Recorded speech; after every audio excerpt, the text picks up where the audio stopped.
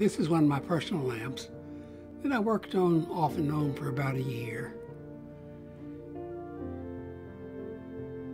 The angel trumpet.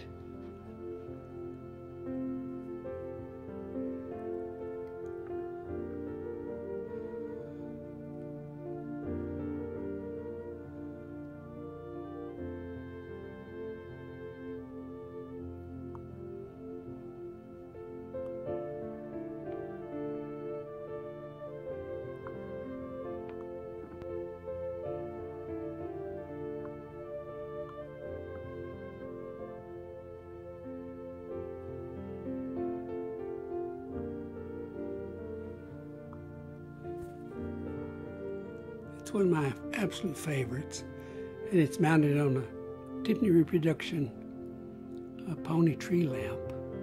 And the lamp base was very expensive. I think about 10 years ago, I think it was six or seven hundred dollars just for the base and the crown that goes with it. I had to modify the crown considerably to make it work. But I love it. The leaves are bent, what I had to do was I had to make a fire brick mold the same shape as the fiberglass uh, Tiffany mold that I got that I got from Odyssey.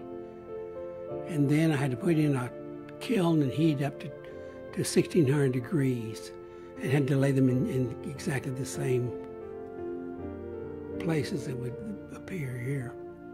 And uh, I had to do several firings. I did I, I, did this whole lamp in two different stages. Of course, it's easy to do the bottom part because you can lay it out in the flat.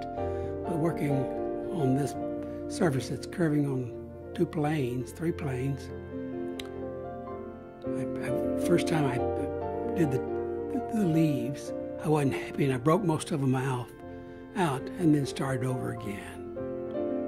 But I love it because it just seems to change as you from every different angle. And I use some really exquisite glass.